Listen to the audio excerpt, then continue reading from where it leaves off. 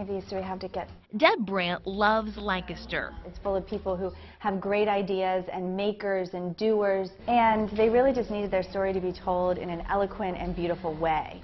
So in 2005, Brandt and her team developed Fig, a slick upscale magazine featuring the city's hidden gems. It really became a lookbook for downtown.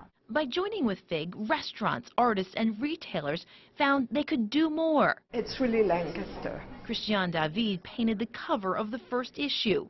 She credits Fig with being a catalyst for change and economic development in the city. FIG really helped to promote Lancaster as a cultural and art community. It's like an evolution of what Lancaster itself is and what it's becoming. It's that evolution that brought Cedric Barberet and his upscale bakery to downtown. The cover.